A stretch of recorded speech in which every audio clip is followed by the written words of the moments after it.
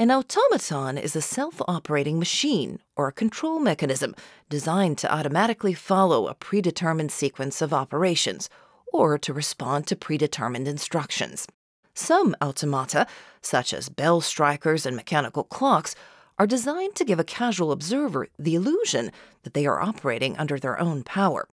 In his work and research, Tesla was convinced that humans were already cosmic automatons, something that today we call organic artificial intelligence. This understanding of human consciousness was the main motivation for Tesla to research that aspect of the human mind and accomplishments in relation to cosmic knowledge. Tesla was observing himself as a machine, and he often explained himself as an instrument of cosmic knowledge.